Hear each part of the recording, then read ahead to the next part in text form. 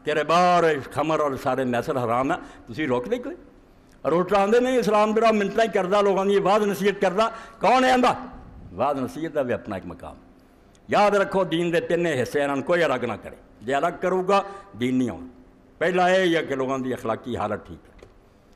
ਇਹਨਾਂ ਨੇ ਸਾਨੂੰ ਕੀ ਸਮਝਾਉਣਾ ਦੀਨ ਨੇ ਸਾਨੂੰ ਆਪੇ ਸਮਝਾਇਆ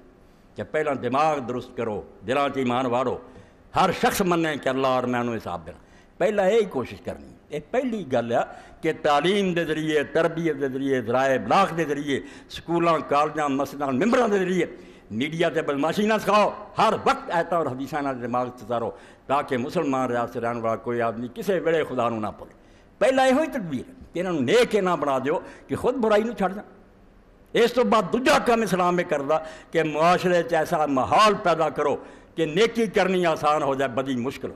ਆਸਾਨ ਹੋ ਜਾਏ ਬਦੀ ਮੁਸ਼ਕਲ ਹੋ ਜਾਏ ਇੱਕ ਪੈਦਾ ਕਰੋ ਵਰਨਾ ਅਗਰ ਕੋਈ ਹੱਥ ਵੱਢਣ ਨੂੰ ਚੋਰਾਂ ਦੇ ਤੁਰ ਪਏ ਉਹਨੇ ਰੋਟੀ ਦਾ ਸਾਮਾਨ ਨਹੀਂ ਕੀਤਾ ਮੈਂ ਮੈਂਬਰ ਤੇ ਆਣਾ ਕੋਈ ਜ਼ਾਲਮ ਕੋਈ ਇਸਲਾਮ ਦਾ ਹੁਕਮ ਤੇ ਅਮਲ ਨਹੀਂ ਕਰ ਰਿਹਾ ਜ਼ੁਲਮ ਕਰ ਰਿਹਾ ਪਹਿਲਾਂ ਰੋਟੀ ਦਿੱਤੀ ਹੈ ਜ਼ਕਾਤ ਦੇ ਜ਼ਰੀਏ ਉਸ਼ਰ ਕਮ ਲੈ ਕੇ ਔਰ ਸਾਰੇ ਮੁਲਕ 'ਚ ਇੰਤਜ਼ਾਮ ਕਰਕੇ ਬੰਦੋਬਸਤ ਕੀਤਾ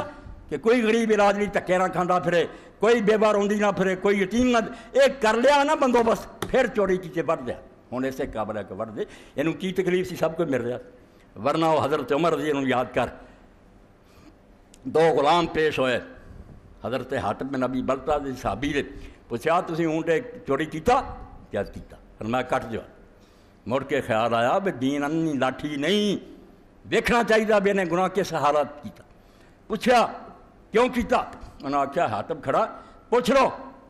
इन्ना कम लेंदा दिन रात साढ़े को असी चूर हो जाने खाण में इन्ना भी नहीं दिता असी मुरदार भी हज़रत उमर खा लीए साड़ी हलाल। असी कसम खा के आने मुर्दार साड़ी जाए ਜਾਇ ਆਪ ਨੇ ਆਖਿਆ ਹਾਤਮ ਤੂੰ ਉਹ ਦੋ ਊਂਟ ਦੇ ਇੱਕ ਊਂਟ ਦੀ ਬਜਾਏ ਦੋ ਊਂਟਾਂ ਦੀ ਕੀਮਤ ਪਰ ਇਹਨਾਂ ਨੂੰ ਮੈਂ ਰਹਾ ਕੀਤਾ ਕਾਦੀ ਮੈਂ ਸਲਾਹ ਦਿਆਂ